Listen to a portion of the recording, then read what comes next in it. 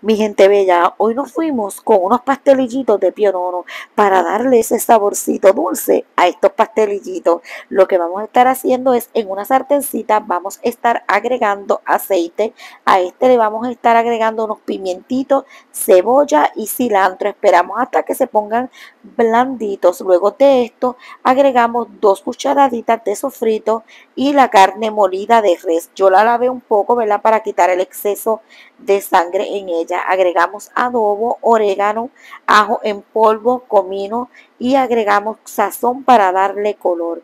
Con un majador de papa le damos cuatro cantacitos. Agregamos también caldo de pollo y salsa de tomate hasta que esté así de lista. Agregamos unos platanitos, ¿verdad? Los cortamos en pedacitos pequeños, los freímos y que nos queden así de doraditos. Yo estoy utilizando estas plantillitas que las compran en el supermercado para hacernos la vida más fácil.